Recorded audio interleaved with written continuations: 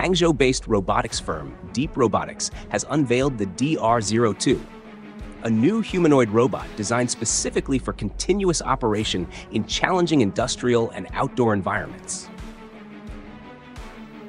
The robot incorporates an innovative modular quick detach system for core components such as the forearms, full arms, and full legs. With an IP66 rating, the robot is protected against powerful water jets and is fully dust tight, allowing it to function in rainy, humid, or dusty conditions.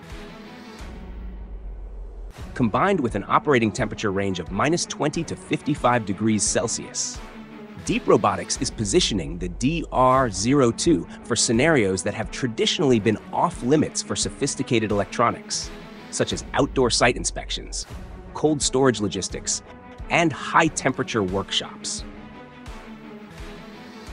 Standing 175 centimeters in tall, the DR02 features a dual arm design with a 10 kilogram payload capacity per arm and can carry a total of 20 kilogram. For tasks requiring rapid deployment or covering large areas, the DR02 can accelerate to a maximum speed of 4 meter per second and has the ability to navigate stairs and slopes up to 20 degrees. These capabilities are powered by an onboard computing system rated at 275 tera operations per second. And it integrates a multi-sensor array comprising LiDAR, depth sensors, and wide-angle cameras.